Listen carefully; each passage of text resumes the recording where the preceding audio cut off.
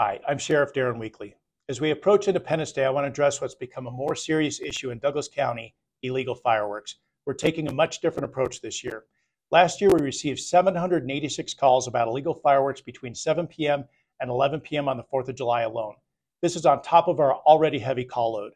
We understand that fireworks are part of the celebration, but illegal fireworks are a safety hazard, a fire danger, and pose a major disturbance for many in our community, as well as people's pets. This year we'll be proactive and assertive in enforcing the laws against illegal fireworks, which in Colorado means any firework that leaves the ground. My deputies will be out in full force in patrol cars and on bikes to ensure everyone's safety.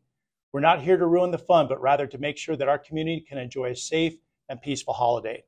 If you have fireworks, please make sure they're lawful and use them responsibly. Let's work together and have a fantastic Independence Day. Thank you all and stay safe.